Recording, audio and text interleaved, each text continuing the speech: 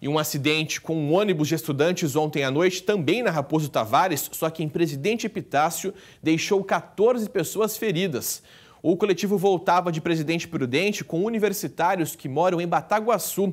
Olha só, em um trecho de lentidão, o veículo bateu na traseira de um caminhão semi-reboque. A gente está vendo como ficou aí a parte da frente do automóvel. Bom, as 14 vítimas leves foram levadas para hospitais de Presidente Venceslau e também Presidente Prudente.